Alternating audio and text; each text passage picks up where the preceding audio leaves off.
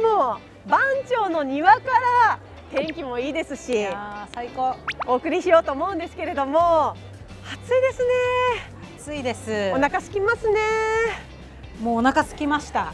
やっぱり今回も私は食べてきましたのであえ葉山さんがまた？テイクアウトしてきました。食べ過ぎじゃないですかもはや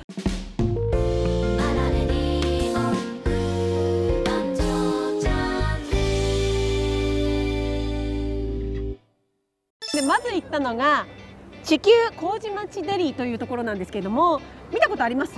あの日テレ通り沿い。はい。あのー、ところですよね。そうですそうです。すぐここで野菜美味しい野菜を売ってるお店なんですけれども週替わりのカレーがありまして美味しそう。ヘルシー。はい。今週はカシューナッツペーストのローストチキンカレーだったんですよ。彩りが。ものすごいでしょ？まず真ん中にある卵が平飼いの卵なんですって。で手前に見えますその卵の下お豆が国産の在来種7種類使ってるんですって。美味しかったです。でこの人参のところは青森県で30年以上無農薬で育ててる80歳ぐらいのおばあさんが作ってる人参だそうで。すごくこの人参も人気なんですって。寺澤さんの人参って言うんです必要です。そうですよね。なんかすごい映えますよね。写真も映えるしなんか綺麗。でもこうやって映えるものって結局健康にいいんですよね、うん。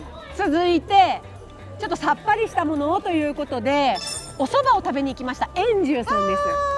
で円十さんでテイクアウトしたのはこちらざるそば。このざるそばも北海道産の極上のそば粉を使ってるらしくって何よりも私が美味しいなって思ったのはつゆが3代続く秘伝のタレなんですってえ？で私はあのこの後飲んじゃいました。美味しいんですよ。それぐらい美味しい。美味しそう。一滴も残さずに食べましたよ。やっぱりこういう季節になってくると、お蕎麦もねお蕎麦大好きなんですよ、ね、本当に。ポツンと感がねもうどうしても気になる。ディスタンスです。こういうの見てるとお腹空きません？空きます。そろそろデザートどうですか？いいんですか？甘いもの買ってきます。いいんですか？行ってきます。やったお願いします。えっとフレンチトーストを食べたいんですけどスタンダードなものとえっと二人気のものどうですかね？これとはい。とこれがあじゃあこれとこれですね。これではい。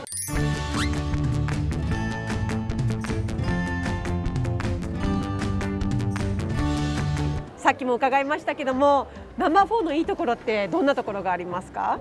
あナンバー4のおすすめはなんて言ったってトイレですよ。あトイレ。トイレあの大きい多目的トイレがあってそこは、えっと、おむつ替えもできるしですごく広くてしかもあのクーラーが設置されてるんですよ。えー、それ最高ですね。あとねチャリ 置き場。自転車置き場。がちゃんとこういうとことかあっちとかにあるっていうのも最高です、ね、いいカフェがあっても止めに行かないといけないとかあるんですよね。わかります。でその間で子供どうすんのみたいな話とか連れて行ってまた乗せてとかすごい大変なので。目の届くところに置けるっていうのもいいですしね。はい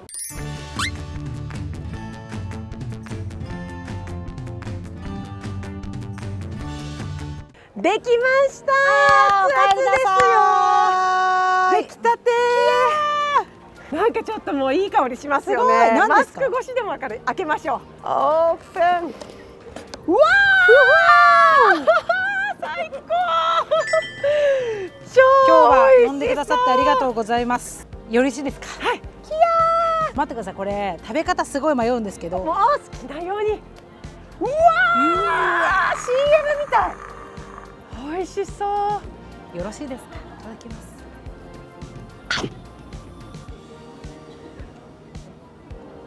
顔がもう美味しいっての言ってますね。美味しい。柔らかいんですよ、うん、どのぐらいなんかつけたらこのぐらい柔らかくなるのかなっていう。わかる。じゃあ私もちょっと我慢できないんでいただきます。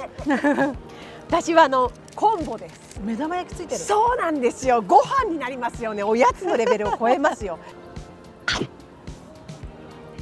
うん。